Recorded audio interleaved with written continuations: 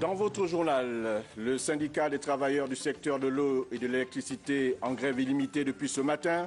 Le mouvement qui aura donc pour conséquence des perturbations en eau et en électricité dans les jours à venir laisse les populations interrogatives. Célébration aujourd'hui de la journée de lutte contre les accidents vasculaires cérébraux. Plus connue sous l'appellation AVC, cette pathologie est aujourd'hui la première cause de consultation en neurologie dans notre pays où la célébration est passée sous silence. Enfin, plusieurs semaines après la rentrée des classes, le personnel enseignant fait défaut au canton Massamba, département de la Lombo-Bungidi, province de Loguelolo. Une situation vécue par plusieurs centaines d'élèves de l'arrière-pays qui voient leurs chances de réussite fragilisées. Mesdames, Messieurs, bonsoir et merci de rester fidèles au programme de Gabon Première. Bienvenue dans votre 20h.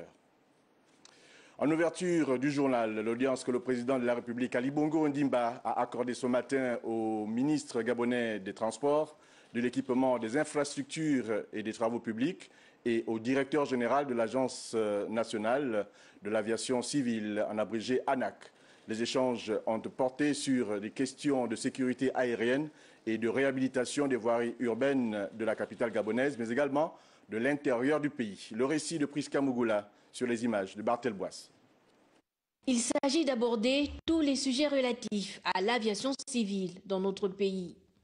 Au cours de cette audience entre le chef de l'État Ali Bongo Ndimba et le ministre des Transports accompagné du directeur général de l'Agence nationale de l'aviation civile ANAC, les échanges ont gravité autour des questions de sécurité et de sûreté aérienne, mais également du prix décerné par l'Organisation de l'aviation civile internationale au Gabon.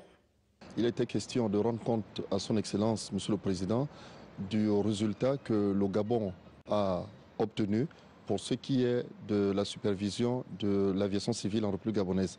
Il vous souviendra qu'une délégation de l'aviation civile internationale a séjourné au Gabon dans le cadre d'un audit. Et ce audit aujourd'hui a permis au Gabon de passer d'un taux de conformité de 26,90% à 72%, ce qui fait une, marge de progression de près de 46%. Et pour ce résultat, l'aviation civile internationale, l'OACI, a bien voulu décerner au Gabon un prix spécial que nous sommes venus présenter au président de la République, puisque l'ensemble de, tout ce que nous faisons, c'est le résultat des instructions, le résultat des orientations, le résultat de l'accompagnement du chef de l'État. En présence du Premier ministre, le ministre Justin Dundangoy a présenté au numéro 1 gabonais le plan d'amélioration des voiries urbaines de Libreville.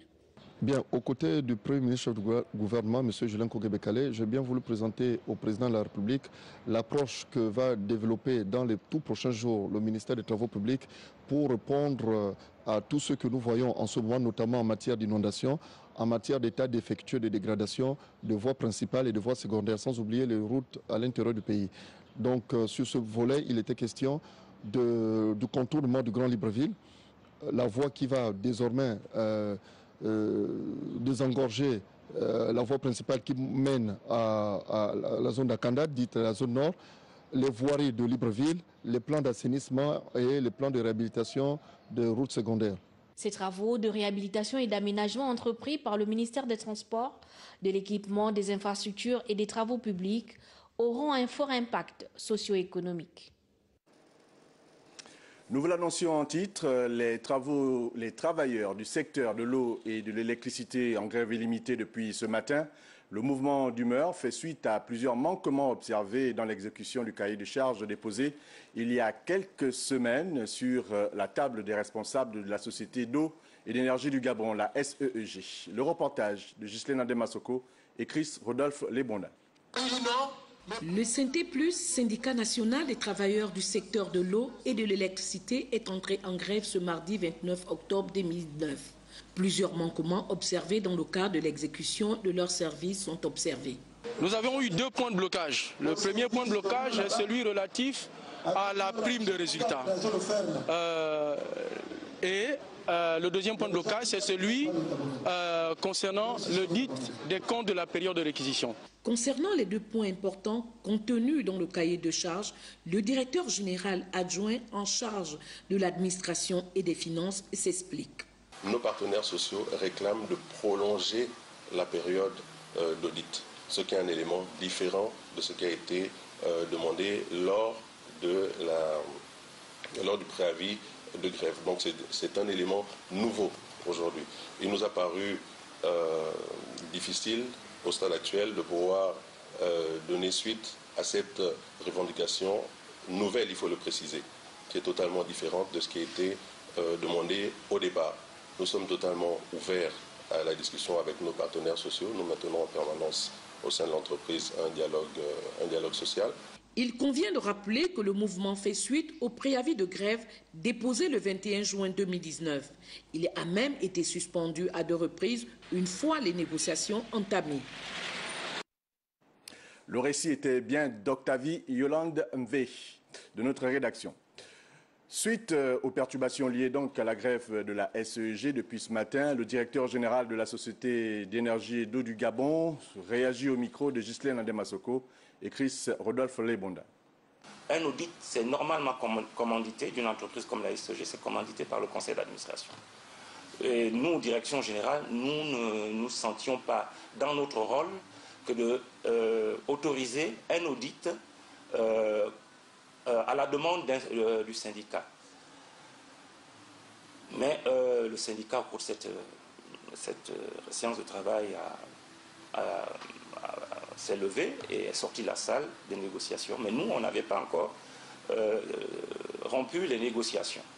Donc, grande a été notre surprise de constater sur notre messagerie interne le lundi 28 euh, octobre 2019, c'est-à-dire hier, ce n'est même pas un préavis de grève, c'est carrément un avis de grève.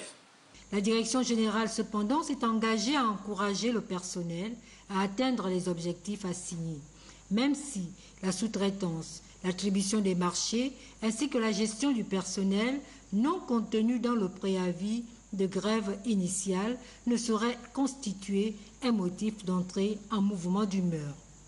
Le syndicat veut étendre la période de, l'audit juin 2019, contrairement à ce qui avait été arrêté initialement. le deuxième problème, c'est que manifestement le syndicat met en doute les résultats de l'entreprise euh, et ne nie pas le fait que la SEG, la direction générale, a déjà euh, l'a déjà informé de ce qu'une prime sera effectivement versée et nous avons prévu de la verser à la mi-novembre 2019. La SCG est une entreprise responsable et citoyenne qui se fait auditer de manière régulière. Il va sans dire que le mouvement d'humeur lancé par le syndicat national des travailleurs du secteur de l'eau et de l'électricité va affecter plusieurs ménages gabonais avec des perturbations en fourniture d'eau et d'électricité. Mais on s'interroge tout de même sur l'opportunité d'une telle action en pareille période de l'année. Le regard de Léa Bifan et Chris Rodolphe Lebonda. Le mois de novembre serait-il devenu un mois de grève à la Société d'énergie et d'eau du Gabon? Seront-on en droit de s'interroger au regard du constat fait ces dernières années au sein de cette entreprise? Une situation qui intervient à une période donnée. Des revendications curieusement sont les mêmes, le dit des comptes de la période de réquisition et le paiement de la prime avec clarification des résultats de l'exercice 2018 en juin 2019. Les comptes étant arrêtés généralement en décembre, le syndicat national des travailleurs du secteur de l'eau et de l'électricité au risque de perdre cet acquis, anticipe avec une grève illimitée. La conséquence immédiate de ce mouvement de débrayage reste les perturbations en fourniture d'eau et d'électricité.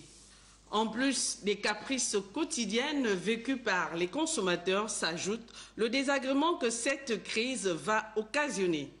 Pourtant, le consommateur honore bel et bien à son engagement chaque fin du mois en réglant ses factures. L'intérêt de cette bataille étant certes la reconnaissance des efforts des agents, mais il est nécessaire de tenir compte de l'importance du précieux liquide et de l'énergie dans les ménages gabonais. La saison des pluies à Libreville et ses environs est loin d'être une période de tout repos pour les habitants de la Sablière 2 qui ne dorment plus du sommeil du juste. Les eaux de ruissellement et de pluie seraient donc, euh, semble-t-il, euh, à l'origine du blocage de leur ruissellement, oui, par un bâtiment élevé dans un lit de rivière, causant donc des inondations dans les ménages environnants. Les pieds dans l'eau, le reportage d'Elvie Milenji Badinga, image Lubestar Lenyongo. Pour avoir joué la flûte sur la voie publique sans être écouté ou entendu, ces populations de la Sablière 2 ne savent plus trouver ni les mots et encore moins les accents assez forts pour pouvoir exprimer leur mal-être dans ce quartier. Plus de 1000 familles habitent ce quartier né dans la spirale d'innombrables conflits fonciers. Doté de toutes les commodités modernes d'aménagement nécessaires pour le bien-être et le vivre ensemble dans une cité moderne, telles les voies d'accès pour tous et la canalisation des eaux.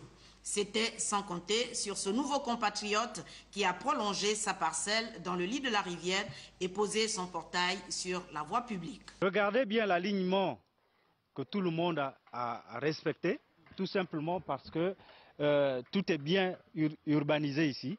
Monsieur a jugé utile de barrer complètement la route, s'il vous plaît, qu'il respecte tout simplement l'alignement de tout le monde et le problème des eaux sera réglé. Sortis du canal bétonné, réceptacle d'eau fermé, les eaux de ruissellement sans issue remontent comme des tentacules d'une pieuvre pour élire domicile dans les concessions et sur les voies d'accès.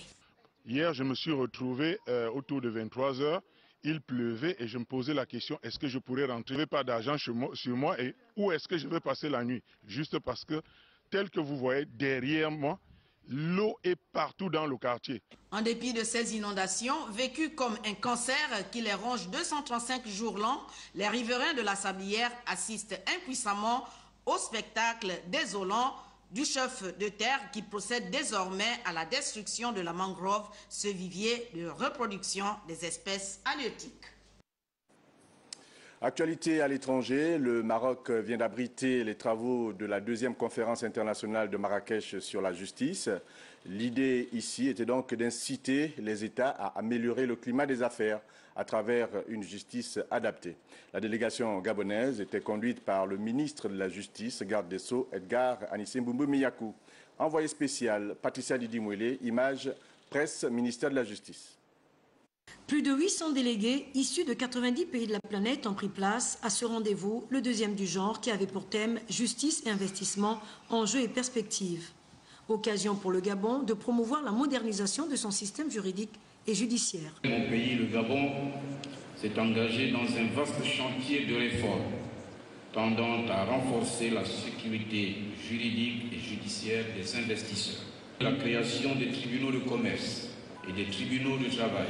Les magistrats affectés dans ces juridictions seront spécialisés dans leur matière le nouveau code pénal et de procédure pénale fait également une large place à l'amélioration du climat des affaires au Gabon. le nouveau code pénal et le nouveau code de procédure pénale récemment adopté par le Parlement gabonais, issus de ces réformes, renforcent la répression des atteintes à la bonne gouvernance économique, notamment en matière de sûreté des sociétés commerciales et des groupements d'intérêts économiques des procédures collectives d'appurement du passif. Le thème retenu pour cette conférence présente un intérêt certain pour nos différents pays en ce qu'il nous interpelle sur le rôle déterminant de la justice dans l'environnement des affaires. Souscrit au droit OADA, les progrès du Gabon ont été reconnus par les délégués concernant notamment l'amélioration du climat des affaires et de la sécurisation des investissements. En marge de ces assises, le ministre d'État, Boubou Yakou, a conféré avec ses homologues de la Turquie et du Maroc. Sur le même sujet, plusieurs ateliers ont fait l'objet de nombreuses réflexions des experts en droit des affaires pour davantage éclairer les assistants, les personnes qui ont pris part donc sur le thème de cette année. Retrouvons Patricia Lidi Modernisation du système juridique des affaires, justice et amélioration du climat des affaires, enjeux des regroupements régionaux dans l'amélioration du climat des affaires, autant de thématiques discutées pour asseoir la bonne gouvernance des affaires dans les États. Euh, il a été par toutes les délégations que ces réformes-là permettent une efficacité du système judiciaire, en ce sens que les magistrats, désormais, euh, en, étant spécialisés, pourront connaître particulièrement certaines de ces procédures-là en matière commerciale, en matière de droit du travail et également en matière pénale. Sur le plan pratique, il est impérieux aujourd'hui pour l'État gabonais que ces juridictions-là fonctionnent de manière effective. La juridiction du travail et la juridiction commerciale notamment, pour que nous puissions vraiment arriver à soutenir l'investissement au niveau de notre pays. Inciter les investissements avec pour enjeu la sécurité juridique dans nos États est une des questions centrales discutées lors de cette conférence. Le juge administratif est le juge du foncier et le juge fiscal, lui qui traite du contentieux fiscal dans une bonne part de ce contentieux qui peut opposer ces investisseurs à l'État gabonais euh, euh, notamment. Et je remercie en cela la hiérarchie d'avoir associé les juges spécialisés que nous sommes à ce type de rencontre. La rencontre de Marrakech aura permis aux différents participants d'évaluer et de renforcer les bonnes pratiques de justice comme levier d'un développement durable. Le monde a célébré aujourd'hui la journée internationale de lutte contre les accidents vasculaires cérébraux. En l'absence de manifestations officielles au Gabon, notre rédaction se penche ce soir euh, sur les causes, les moyens de prévention et les symptômes de cette pathologie qui est statistiquement de nos jours l'une des premières consultations en neurologie. Détails et explications de Charline Warren-Piram Bimi et Bertin Osaga. L'accident cardiovasculaire cérébral serait la première cause d'hospitalisation et de décès au service neurologique du centre hospitalier universitaire de Libreville. Au moins 75 à 80 de patients hospitalisés sont victimes d'AVC et les jeunes ne sont plus en marge de cette pathologie. L'accident vasculaire cérébral, c'est un déficit neurologique qui survient d'une manière soudaine et qui est supposé d'origine vasculaire. Les causes, le plus souvent, c'est l'hypertension artérielle maltraitée, c'est le diabète mal suivi, c'est l'hypercholestérolémie, c'est le tabac, c'est l'alcool, c'est l'environnement, c'est la mauvaise alimentation. L'AVC se manifeste de plusieurs façons et en fonction de la zone touchée. Par exemple, une paralysie de l'hémicorps, par exemple, les troubles de la vision, les troubles du langage, avec difficulté à émettre des mots, difficulté à parler, la prise en charge rapide du patient est un atout pour une guérison totale. Plus on a beaucoup plus rapidement pris en charge cette personne, les, séquelles seront amoindries par rapport à la personne qui a été prise en charge au bout d'une semaine, de deux jours, de trois jours. Les séquelles seront beaucoup plus massives. Quand une personne a ça à la maison, il faut euh, l'allonger, il faut appeler le SAMU. Pour prévenir des AVC, il faut avoir une certaine hygiène de vie éviter de fumer, boire de l'alcool et le stress. Il faut surtout un contrôle régulier chez le cardiologue ou le généraliste et vérifier son taux de cholestérol et de glycémie dans le sang. Après la déclaration hier du ministre gabonais à la Santé sur nos antennes, la rédaction de Gabon Première revient ce soir sur la présence ou non donc, euh, de virus Ebola au Gabon présence ou non, qui alimente donc l'opinion gabonaise. Est-ce une réalité? Le regard de Stevie Oyan Mesui de la rédaction de Gabon Première. Les réseaux sociaux relaient cette information depuis ce 28 octobre 2019. Le virus Ebola a refait son apparition au Gabon. Tout part d'une déclaration lue par le ministre de la Santé sur les antennes de Gabon Télévision. Max Limoukou annonce qu'un bateau servant à approvisionner les plateformes pétrolières est parti de Douala à destination de Pointe-Noire au Congo. Huit passagers à bord, mais le capitaine du navire serait décédé, son adjoint, dans le coma. Résultat de la course, panique générale. Plusieurs questions taraudent dès lors l'esprit des Gabonais soucieux d'avoir plus d'informations sur cette question de santé publique. Des échantillons contenant des prélèvements de fluides biologiques des malades, de l'eau potable, des eaux usées, des restes de nourriture trouvés à bord du bateau ont été envoyés au Centre international de recherche médicale de Franceville pour analyse. À quand les résultats C'est là où réside l'énigme de toute cette affaire, car l'on se souvient encore des poissons morts mystérieusement dans les eaux de l'Ogoué. Interdiction formelle de consommer la carpe jusqu'à nouvel ordre. Une interdiction levée par les populations elles-mêmes, sans bien évidemment être au fait des résultats d'analyse. Qu'est-ce qui empêcherait le SMIRF de donner les résultats rapidement après analyse? Les prélèvements sont-ils envoyés à l'étranger? Seuls les spécialistes du DISAND sont capables de nous édifier. L'urgence impose cependant une communication rapide pour éviter les dérapages, les analyses allant dans tous les sens. En clair, il faudrait en parler pour éviter toute forme de spéculation. La suite de votre 20 heures avec euh, l'ONG Dosamia qui était au chevet des familles démunies et des malades mentaux les membres de cette organisation non gouvernementale viennent de procéder à la distribution de plusieurs kits alimentaires à l'endroit des familles économiquement faibles dans la province de Langounier et dans la ville, plus précisément de Mouila. Étaient sur les lieux pour le compte de Gabon Première, Georges Kambila Kambila et Arnaud Menger. Près de 30 foyers de familles démunies ont reçu des kits alimentaires composés des produits de première nécessité. Un don de l'ONG Dosamia on achète la nourriture pour passer donner les personnes famille par famille. Mais comme vous êtes le chef, nous allons prendre euh, ce qu'elle allait donner à la première famille qu'on a recensé, qu'on est venu voir, qui sont dans le besoin. De Samia qui milite en faveur de l'amélioration des conditions de vie de ses semblables, les bénéficiaires saluent ce geste de portée sociale. Vous qui faites le, le maman, nous n'est pas le mari. On reste que seul ici, là. Tout le monde que, à, Libreville, vous tous, s'ils ne voient pas 1000 francs pour donner le maman, nous on souffrissait là. Merci, je ne m'attendais pas à recevoir euh, ce don ce soir-là. C'est très important d'aider des, gens comme ça. C'est ça, tout le monde, en fait, toute la population, et qu'on tout le peuple gabonais devait se mettre dans cette, euh, dans cette activité-là et pouvoir venir aux besoins de certaines personnes qui ne peuvent pas, hein, qui n'ont pas, qui ne peuvent pas, mais qui n'arrivent pas souvent à souvenir à leurs propres besoins. Voilà. Après la distribution des kits alimentaires, les membres de ce regroupement associatif ont également offert des plats de nourriture aux malades mentaux en déshérence dans les rues de la capitale provinciale de Langounier.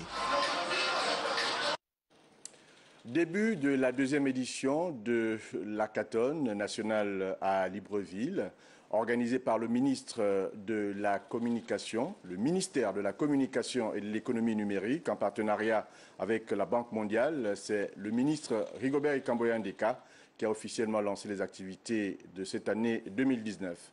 Yelande Ekwara Moukani, Rodrigue Simangoy, Edi Yakunda pour le reportage.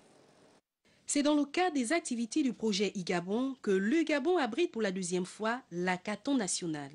C'est une compétition qui rassemble des jeunes Gabonais de 15 à 35 ans autour d'un thème, le numérique au service du bien-être des populations. Et c'est Rigobert Ikamboyan Deka qui a lancé officiellement l'ouverture des activités de ce concours. Ce thème comporte plusieurs objectifs. D'abord, trouver des solutions innovantes et numériques aux problématiques de gestion de structures de santé. Ensuite, mettre en application les instructions de M. Julien Kogé-Bekale, Premier ministre chef du gouvernement, qui exige des solutions pratiques et concrètes aux préoccupations des populations. Enfin, mettre en œuvre la vision du président de la République, chef de l'État, son Excellence Ali Bongo Ondimba, contenu entre autres dans son discours à la nation du 16 août 2019 s'agissant de l'employabilité des jeunes. L'hackathon national met ici en valeur les talents des jeunes Gabonais dans le domaine d'éthique au service des citoyens. Nous nous sommes entourés dans cet événement par un consortium euh, d'entreprises professionnelles du métier qui nous accompagne dans euh, la mise en œuvre de ce projet de, de dans sa deuxième édition. L'hackathon national 2019 se tiendra dans trois villes, Port-Gentil, Mwanda et Franceville du 11 novembre au 8 décembre. Il faut dire que pendant deux jours, les participants vont créer une plateforme numérique répondant aux problématiques de leur ville dans le domaine de la santé. Un mot d'éducation, dans votre 20 heures, nous allons dans le canton Massamba, province de Logouelolo, où plusieurs écoles manquent cruellement de personnel enseignant. La situation des élèves de cette partie du Gabon est celle vécue par plusieurs centaines dans l'arrière-pays. Cette situation fragiliserait considérablement les chances de réussite de ces apprenants. Envoyés spéciaux dans le département de la Lombo-Bouingidi, Lariska Lormamengi et Bertin Osaga. La problématique du manque d'enseignants en zone rurale prend des proportions inquiétantes. Ici, dans le canton Massamba, tous les villages ont le même handicap. Le personnel enseignant est insuffisant. Dans la pratique, c'est un seul maître pour toute l'école, tous les niveaux. L'école publique de Tundi Odunga compte deux salles physiques et quatre classes pédagogiques. Ce qui sous-entend qu'il faut au minimum deux enseignants. Malheureusement, il n'y a qu'un seul. Ce qui fait que les fils et filles de Tundi Odunga ne bénéficient que de 30, sinon 40% des savoirs. Une situation très pénible pour les parents qui ne cachent pas leur exaspération. Dans l'établissement où il y a un cycle complet et il n'y a qu'un seul maître qui prend du CP1 au CM2. Finalement, c'est du jamais vu. Et nos, maîtres, nos, nos enseignants n'arrivent pas à rester du, du, premier au 30. Certains partent retrouver leurs femmes ailleurs et même leurs enfants n'apprennent pas ici. Nous avons pris la décision telle que moi, j'ai pris ma décision d'enlever tous mes enfants et les amener à Pana. Mais vraiment, je ne, je ne me rejouis pas le fait que mes enfants sont ailleurs et moi-même je suis ailleurs. Ce qu'il faut comprendre, c'est que dans certains cas, il y a effectivement des enseignants affectés. Seulement, le manque de commodités telles que les structures hospitalières, bancaires, l'eau potable, l'électricité et même des logements décents constitue un frein à l'exercice de leurs fonctions. La question ici est donc de savoir quel avenir pour ces élèves qui visiblement ne bénéficient pas des mêmes chances de réussite que ceux en zone urbaine. Nous restons dans cette partie du Gabon où quelques mois avant, une de nos équipes de reporters avait donc fait le constat de l'état de dégradation avancé donc de l'école publique de Dienga. Bonne nouvelle aujourd'hui, l'école a été totalement réhabilitée et les élèves ont démarré les cours dans des conditions meilleures. L'initiative est à mettre au compte d'un des fils de la contrée, Lariska Lor Mamengi, Bertin Osaga, pour le constat. Voici à quoi ressemblait l'école publique de Dianga il y a quelques mois. En plus de la vétusté des bâtiments, l'absence totale de toutes les commodités pour un meilleur encadrement pédagogique. Après le passage de l'équipe de reportage de Gabon Première, un fils de la localité, Wilfried Jimmy Mukumi, a été sensible. Il a donc entrepris des travaux de réflexion. L'école de Dienga a désormais fière allure. Grande a été notre joie, à notre retour des vacances, de retrouver notre école complètement réalisante. C'est pour nous donc l'occasion de vous remercier de toujours contribuer à l'amélioration de nos conditions de travail. Pour le bienfaiteur, il n'est pas ici question de se substituer à l'État, mais plutôt venir en appui. Cette école qui a formé beaucoup de cadres d'aujourd'hui. Nous sommes venus ici il y a quelques mois, nous avons vu dans quel état de délabrement avancé était notre école. Cette école qui accueille les futurs cadres de demain. Nous avons donc répondu à cet appel, à cette demande qui va en droite ligne avec la vision de partage du président de la République, à laquelle il nous a tous appelés, cette notion de partage et de solidarité que nous avons souhaité manifester en l'égard de nos jeunes frères et sœurs. Un acte de solidarité qui vient améliorer les conditions d'apprentissage des enfants de cette partie du canton Massamba, mais aussi embellir le district de Dienga, déjà en proie à de nombreuses difficultés. Pour la fin de ce 20 heures, le collectif Jeunesse et Souveraineté était face à ses adhérents le week-end dernier dans le 5e arrondissement de la commune de Libreville.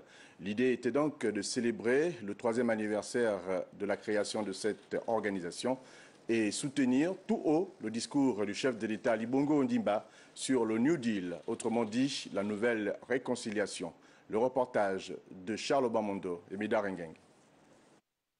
Pour cette troisième bougie, le collectif Jeunesse et Souveraineté a voulu donner du relief à la célébration de cet anniversaire. Une sortie marquée par une prière, la présentation du bureau, ainsi que des invités d'honneur et surtout par le ton d'un discours axé pour l'essentiel sur la nouvelle conciliation, un nouveau concept véhiculé par le président de la République et amplifié sur le terrain par son directeur de cabinet, Brice Lacruche Alianga. Fort de ce soutien indéfectible, le collectif Jeunesse et Souveraineté adhère à l'idée relationnelle directe entre le chef de l'État et le peuple. Cela signifie désormais une relation interpersonnelle entre le chef de l'État et le peuple sans plus d'intermédiaires. Présent à cette manifestation, le MAD Gabon, le mouvement Agir pour le développement du Gabon, qui partage la même vision de ce modèle de gouvernance, a densifié davantage le message. Le président aujourd'hui veut que les populations elles-mêmes dénoncent ces serviteurs qui ne vous servent pas. Il ne peut pas les sanctionner si vous, vous ne parlez pas. Il faut désormais avoir le courage de parler. Lorsque vous ne parlez pas, vous permettez à ceux-là de se servir eux-mêmes et ne penseront jamais à vous.